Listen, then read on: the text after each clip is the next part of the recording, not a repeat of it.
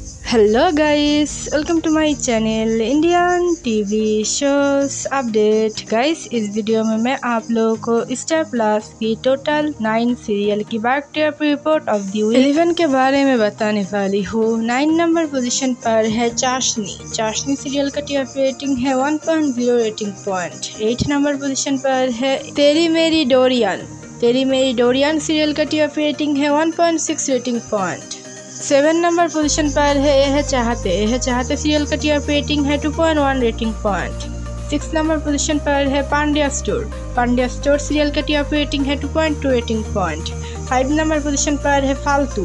फालतू सीरियल का TR rating है two point two rating point four number position पर है इमली इमली सीरियल का टीआर रेटिंग है two point four rating point